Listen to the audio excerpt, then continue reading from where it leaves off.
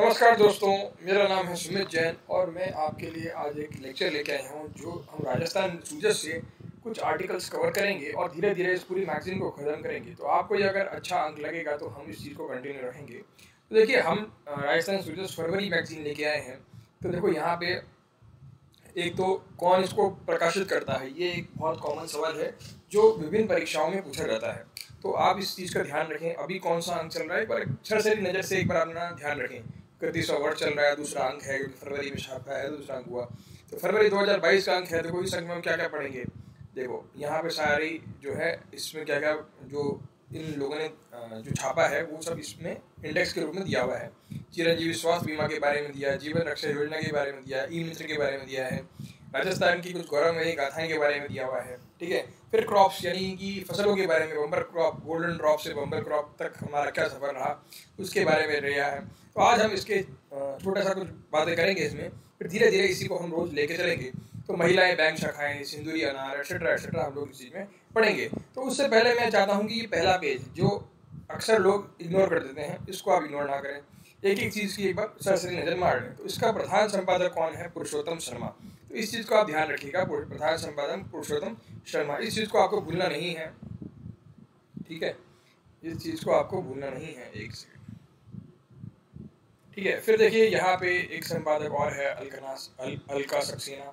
सह संपादक रजनीश शर्मा। तो पुरुषोत्तम शर्मा का नाम मत भूलिएगा। बाकी एक बार आप ध्यान रखिए एक बार इसको नज़र मार लीजिए कई बार एग्ज़ाम में पूछ लिया। तो हम क्या करेंगे? ठीक है? और कृष्णा प्रिंटिंग से होती है। उसके अलावा देखो, इसका कहा है, सूचना एवं जनसंपर्क विभाग सचिवालय जयपुर। ठीक है, जयपुर से शक्ति है हर मासिक है और निश्चित वितरण इसका किया जाता है, ताकि सरकार की नीतियों के बारे में लोगों को जानकारी मिल सके। तो आपको सूचना मैगजीन अगर आप एग्ज़ाम नहीं भी दे रहे हैं तो भी पढ़नी चाहिए। ठीक है? ये देखिए इस फिगर में आप, इस इस इस लेडी का नाम बता सकते हैं कमेंट करके। क्या नाम लिखा हुआ भी है, ऊपर क्या बताएँगे आप? बट ये अभी न्यूज़ में थी, क्योंकि इनकी डेथ हुई है हाल ही में। तो आप ये क्वेश्चन एक्सपेक्ट कर सकते हैं कि इनको कौन कौन से अवार्ड्स मिले हुए हैं नेशनल लेवल के ऊपर और किस चीज़ में ये फ़ेमस थी, ये भी आपको जानना चाहिए, अगर आपको नहीं मालूम है। वैसे आई एम श्योर कि आपको इतना तो पता ही होगा ही होगा। देखिए, ये किसकी फ़ोटो है? आपको क्या लगता है कौन होंगे? देखिए, यहाँ पे ये मुख्य संपादक हमारे पुरुषोत्तम शर्मा जी हैं, ठीक है? तो ऐसे दिखते हैं। आगे चलते हैं मेन आर्टिकल्स की तरफ़। तो देखो, यहाँ पे पहली फ़ोटो जो आ रही है हमारे पास ये बापू जी की आ रही है और साथ में गहलोत साहब की आ रही है। गहलोत साहब कह रहे हैं कि सब हम जो है बापू के सिद्धांतों को युवा पीढ़ी तक पहुँचाने के लिए समर्पित हैं। अब इसके लिए देखिए क्या कर रहे हैं यहाँ पे।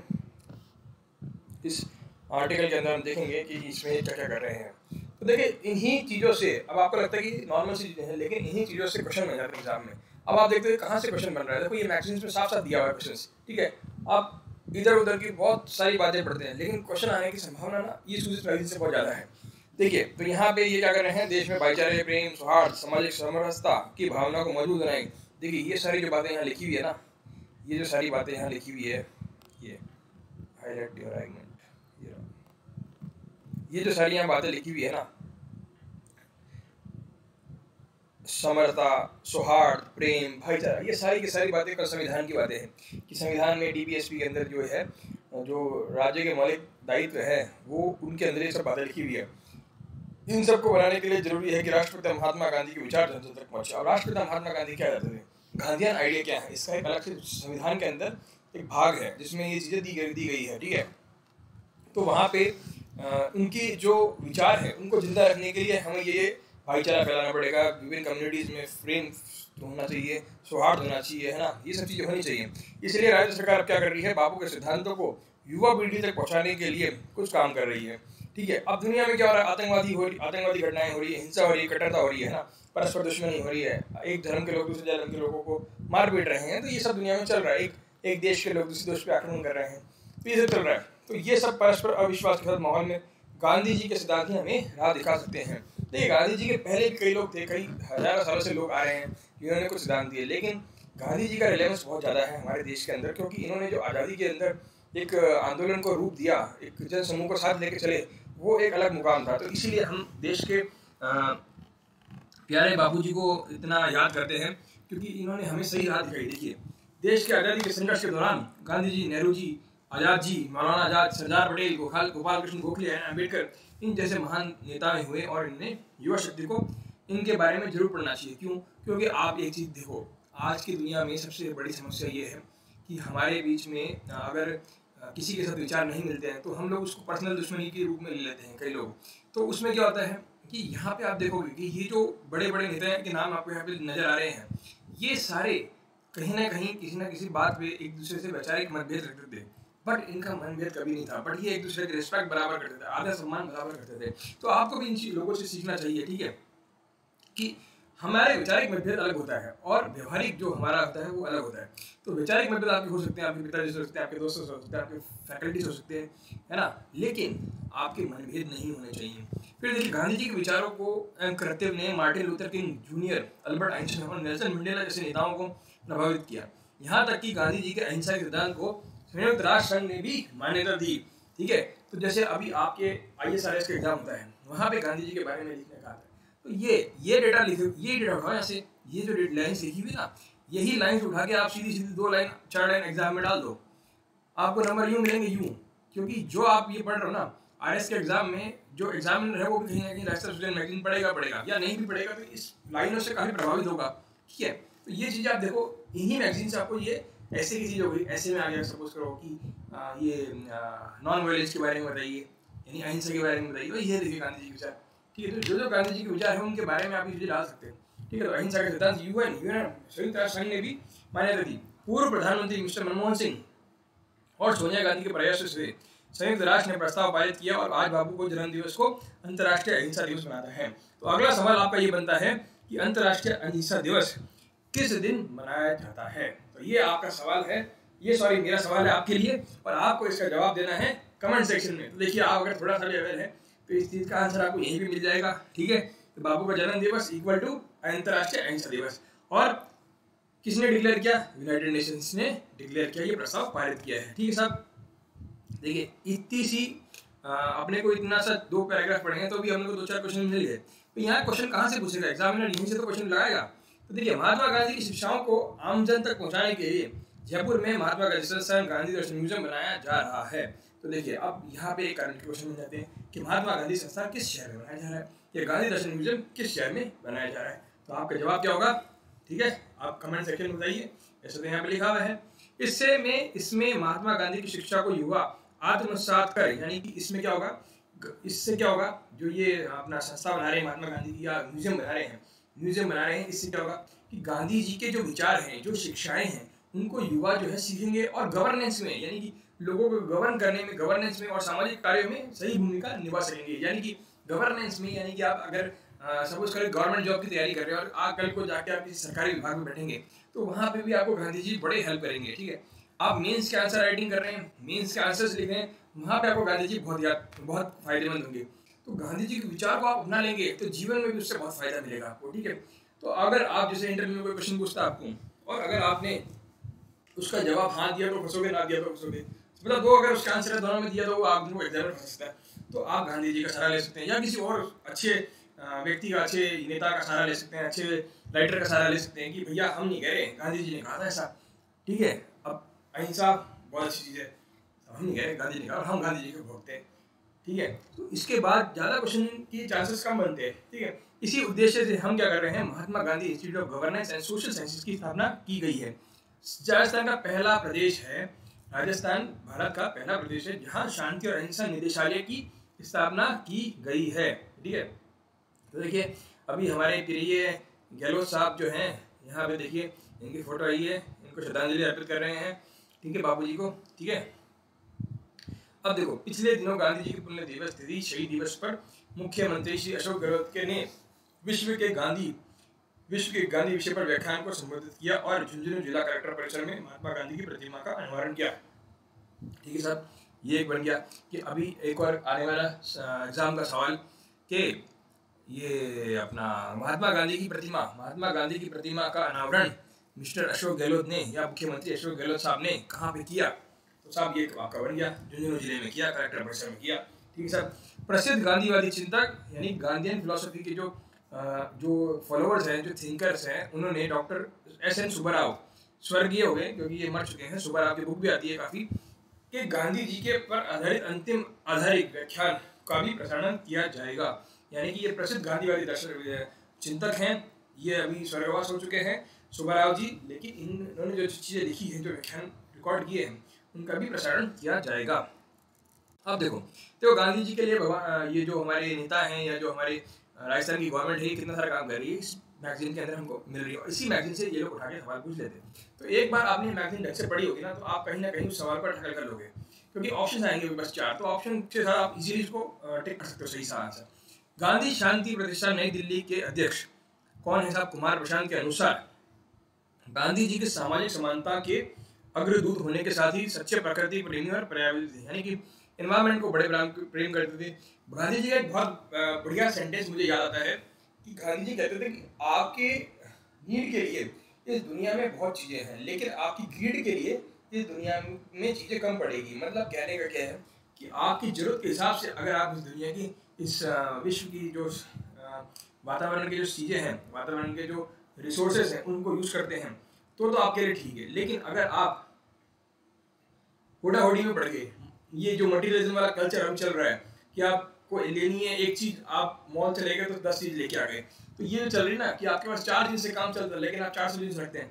ठीक है तो ये जो चल रहा है ना हुडा हुडी की उसके पास बीस तो हम चालीस रखेंगे, उसके पास चालीस हम सौ रखेंगे। तो ये जो हुडा हुडी की चीज़ चली है समाज के अंदर, इससे क्या हो रहा है कि वातावरण का नाश हो रहा है। देख लीजिए, हम क्लाइमेट चेंज का इफ़ेक्ट के रूप में इस चीज़ को देख रहे हैं, जो प्रकृति के विभिन्न चक्रवात आते हैं या बाढ़ आती है जो जिस तरह से हमारा नुकसान होता है तो हमें तब एहसास होता है कि अच्छा हमने प्रकृति का इतना नुकसान कर दिया। आज हम प्रकृति के बारे में चिंतित क्यों है? क्योंकि हमें अपना भविष्य दिख रहा है कि हम सब यहाँ पे रहने लायक नहीं बचेंगे। तो महात्मा गांधी ने ये बात बहुत पहले कह दी थी कि अगर आप अपनी नीड के हिसाब से प्रकृति को यूज़ करोगे तो प्रकृति हमेशा आपके लिए निष्ठावान रहेगी। लेकिन अगर आपने प्रकृति का दोहन सिर्फ़ अपनी ग्रीड के लिए किया, यानी ज़्यादा पैसे कमाने के लिए सपोज़ ग्रीड मतलब लालच के लिए कर दिया। तो लालच के लिए कर रहे हो तो ये इसमें ये धरती कम पड़ेगी आपकी, कितना भी आप कर लो, ठीक है? तो इसीलिए ये जो है व्यक्ति उन्होंने कहा कि ये पर्यावरण थे या प्रकृति प्रेमी थे। उनका मानना था कि प्रकृति की कीमत पर होने वाला विकास हमें नहीं चाहिए। महात्मा गांधी ने देखो, कितनी अच्छी सुलझी बात की उस जमाने में। इस जमाने में भी लोग नहीं समझ पा रहे ये चीज़ कि भैया लाइट चल रही तो हम क्यों बंद करें? हमारा पैसा थोड़ा जा रहा है, हमारा बिल थोड़ा आ रहा है। अरे बेवकूफ़ों धरती का नुकसान हो रहा है। आपकी जो हरकतें हैं, इससे क्या हो रहा है? धरती का नुकसान हो रहा है।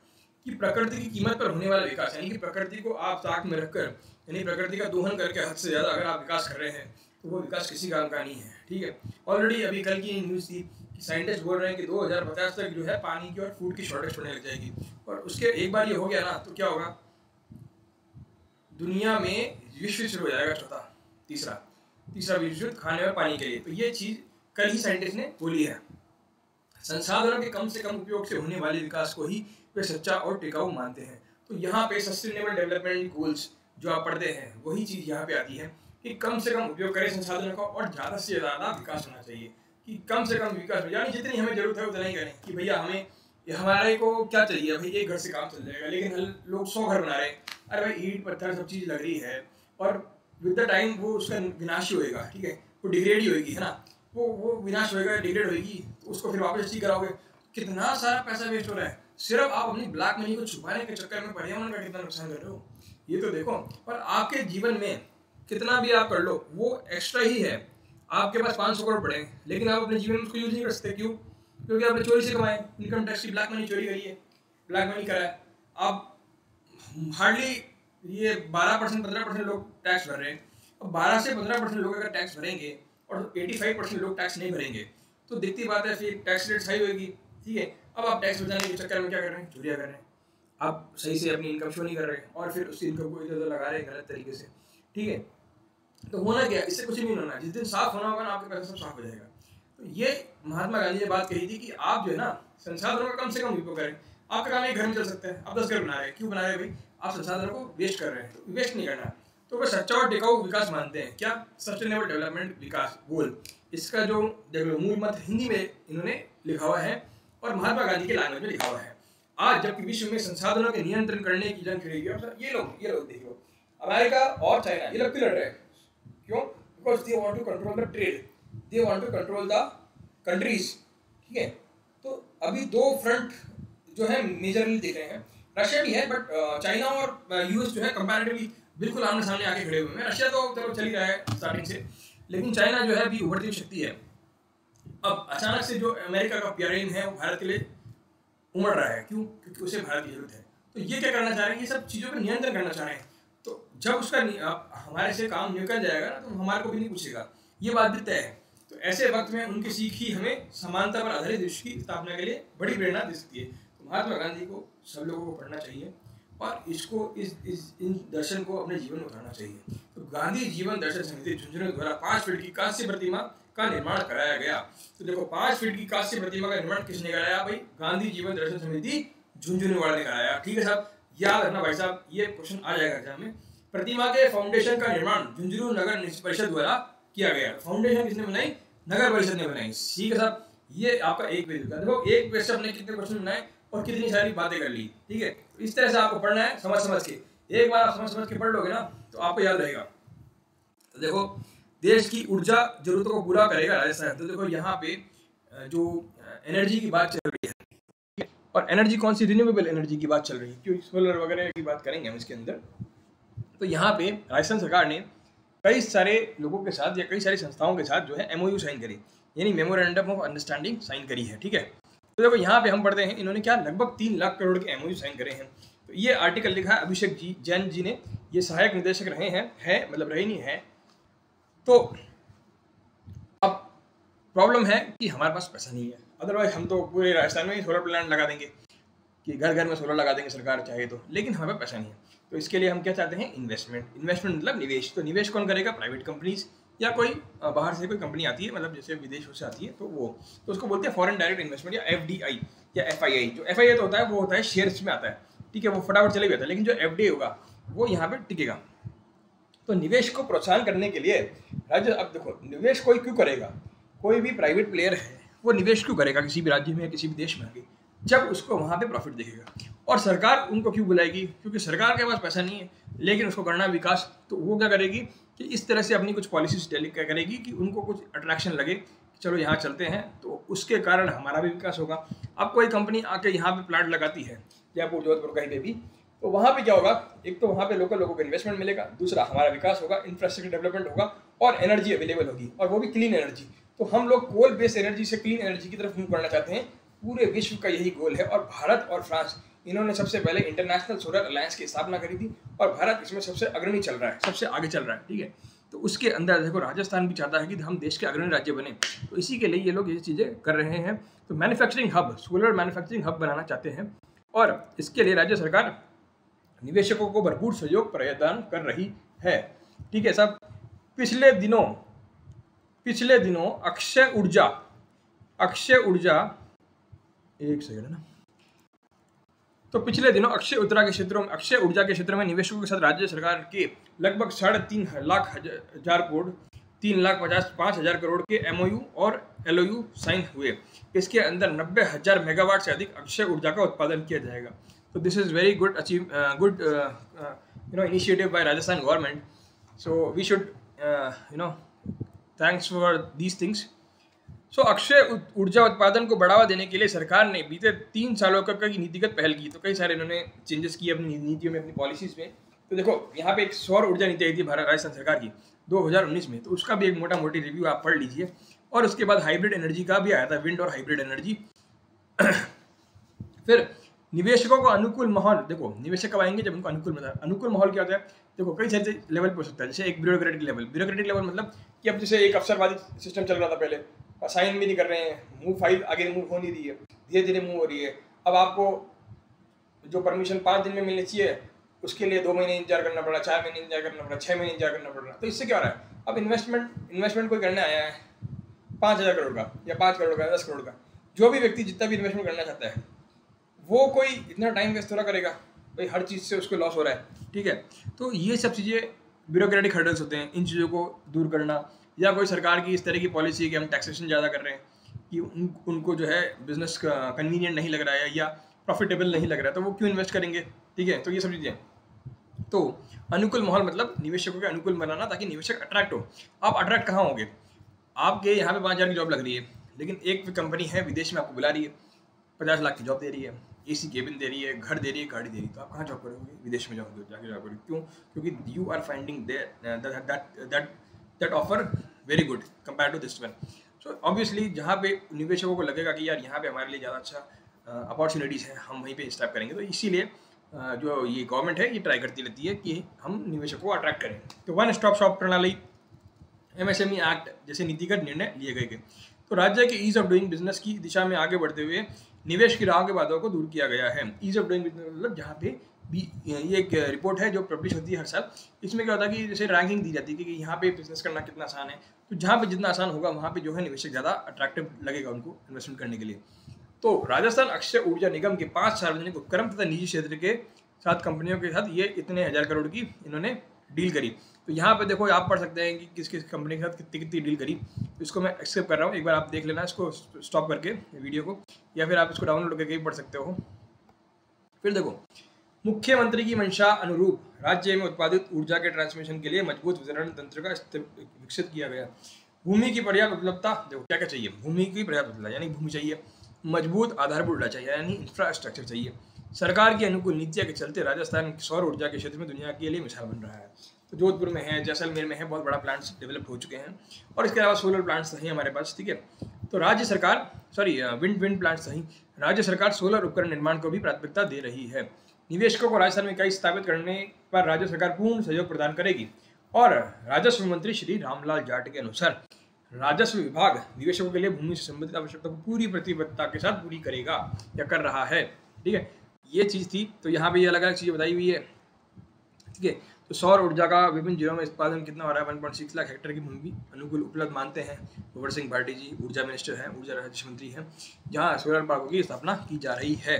और उषा शर्मा के अनुसार वर्ष 2030 तक देश का 500 गीगावाट रिन्यूएबल एनर्जी के उत्पादन के लिए राष्ट्रीय लक्ष्य पूरा करने में राजस्थान की एक बहुत बड़ी भूमिका है, रहेगी। ठीक है तो ये अपने अपना बात बता रहे हैं। तो ये सब चीज़ें आप पढ़ लो, अपन चलते हैं अगले पेज पर। अगले पेज पर देखो देखो, भारत का आने वाला ये क्वेश्चन आ भी चुका है और आगे वाले एग्ज़ाम्स में भी आना चाहता है। तो राजस्थान में विश्व का कौन सा नंबर का स्टेडियम है? बड़े, बड़ा है, छोटा है?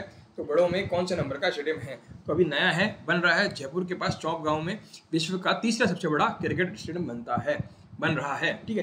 तो भारत के अंदर सबसे दूसरा नंबर का, विश्व के अंदर तीसरा नंबर का। तो क्वेश्चन ये है कि भारत का पहला कौन है और विश्व का दूसरा कौन है? और विश्व का पहला सबसे बड़ा, यह पहला नहीं मतलब सबसे बड़ा कौन है? पहले नंबर पे और दूसरा बड़ा कौन है विश्व का? और तीसरा नंबर तो ये बन ही रहा है। ठीक है? तो अंतर्राष्ट्रीय क्रिकेट मैच को आयोजन करने के लिए हमारी दावेदारी मज़बूत होगी। देखिए, यहाँ फ़ोटो लगा रखी है, इस तरह का कुछ बनेगा मॉडल। और ये हमारे गहलोत जी। तो देखो, यहाँ पे हम क्या कर रहे हैं? देखो, हमारा क्रिकेट से नाइनटीन थर्टी वन से हमारा राजपूता, राजपूताना क्रिकेट संघ बना हुआ है। तब से हम लोग ये पार्टिसिपेशन कर रहे हैं। तो ये कहाँ बन रहा है? दिल्ली जयपुर रोड पर बन रहा है, चौक में बन रहा है, अहमदाबाद और मेलबर्न के बाद ये तीसरा विश्व का स्टेडियम है बड़ा। तो देखो, यहाँ पे एक चीज़ तो क्लियर हो गई। कि दो स्टेडियम बड़े हैं। एक अहमदाबाद में है, एक मेलबर्न में। मेलबर्न का है? ऑस्ट्रेलिया के अंदर। तो ऑस्ट्रेलिया वाला नंबर वन है, मेलबर्न वाला। सबसे बड़े बड़े की बात करें तो। सेकंड नंबर पे अहमदाबाद के अंदर है। तो इसका नाम बताना आपको, नाम क्या है। और तीसरा व्यक्ति जो है, ये वाला, ये जो बन रहा है अभी जयपुर के पास में, ठीक है चौक के अंदर। तो एक क्वेश्चन और है भाई, अभी देखो, वैसे आएगा नहीं क्वेश्चन बट फिर भी आप ध्यान रखो। आर सी का वर्तमान अध्यक्ष कौन है? तो हमारे अशोक गहलोत साहब के बेटे जी हैं, श्री वैभव जी गहलोत, ये हैं। और बीसीसीआई का अध्यक्ष अभी कौन है, ये आपको बताना है। तो प्रदेश का ये नाता पुराना रहा है, इसीलिए हम लोग ये करने हैं कि जब हम चाहते हैं कि तो यहाँ पे यहाँ पे इन्होंने आंसर भी कर रखा है कि देखो सबसे पहला ये है, फिर तीसरा नंबर पे ये है, ठीक है? तो राजस्थान में अब जैसे कौन कौन से बड़े बड़े स्टेडियम हैं एस स्टेडियम का है, जयपुर में बरकतुल्ला खान स्टेडियम का है, जोधपुर में, उदयपुर में एक स्टेडियम बन रहा है और जयपुर के पास चौक में भी स्टेडियम बन रहा है। तो चार तरह के शानदार स्टेडियम बन जाएँगे हमारे पास, हो जाएँगे अवेलेबल ठीक है? आगे चलते हैं। एक कॉन्स्टिट्यूशन क्लब ऑफ़ राजस्थान की स्थापना की जा रही है, जो कॉन्स्टिट्यूशन क्लब ऑफ़ इंडिया के आधार पर। तो यहाँ पे देखो क्या क्या करी जा रही है इसके अंदर क्या क्या होगा कौन कौन इसमें अलाउड होगा क्या क्या इसमें फैसिलिटीज़ दी जा रही है, ये सारी इसमें बातें करी गई है। ठीक है तो इसने, इनका भी आधारशिला इसने अशोक गहलोत साहब ने रखा है, ठीक है। और एक और चीज़ बहुत इंपॉर्टेंट है कि भारत के राज्य भवन में बनेगा संविधान पार्क। तो संविधान पार्क में की स्थापना करी जा रही है, ठीक है। तो इसमें बाईस बाग संविधान के जीवंत होंगे, ठीक है। तो इसके अंदर हम चरखा रखा जाएँगे। संविधान पार्क में चरखा काटते हुए राष्ट्रपिता महात्मा गांधी की वो प्रतिमा विशेष आकर्षण के रूप में प्रदर्शित की जाएगी जिसने आज़ादी तो देखो यहाँ पे स्वदेशी का नारा दिया था आ, हमारे महात्मा गांधी साहब ने तो इनकी फ़ोटो चरखे के साथ में रखी जाएगी फिर महाराणा प्रताप की रखी जाएगी फिर देखिए विवेकानंद साहब की रखी जाएगी ठीक है? और विभिन्न ऐसी चीज़ें रखी जाएगी और संविधान के 22 भागों के बारे में जानकारी भी यहाँ रोचक तथ्य से तरीके से प्रस्तुत की जाएगी। तो संविधान के बारे में बाईस पार्ट्स जो हैं, उनके बारे में यहाँ पे बताया जाएगा। ठीक है साहब? और अभी के भारत सॉरी अभी राजस्थान के जो राज्यपाल हैं, उनका नाम बताइए फटाफट से। ठीक है? और आगे देखो, विधानसभा में बनेगा संग्रहालय। तो एक संग्रहालय भी बना रहे हैं हम लोग। तो इसमें क्या राजस्थान के जो गौरवशाली इतिहास उसके बारे में जाएगी, फिर सत्तर साल जो आज़ादी के बाद हमने निकाले हैं। उसमें हमारी क्या लेखा जोखा रहा, वो सब इसमें बताया जाएगा। इसमें वीडियोज़ भी दिखाए जाएँगे, है ना ग्राफिक्स भी दिखाए जाएँगे ग्राफिक्स के थ्रू स्कल्पचर्स भी बनाई जाएँगी, है ना। और इस तरह की जो है, हम लोग अलग अलग तरह से इस चीज़ को बनाएँगे। तो यहाँ तक ही करते हैं, इसके आगे का जो पोर्शन है, हम अगले उसमें करेंगे, अगले क्लास में करेंगे।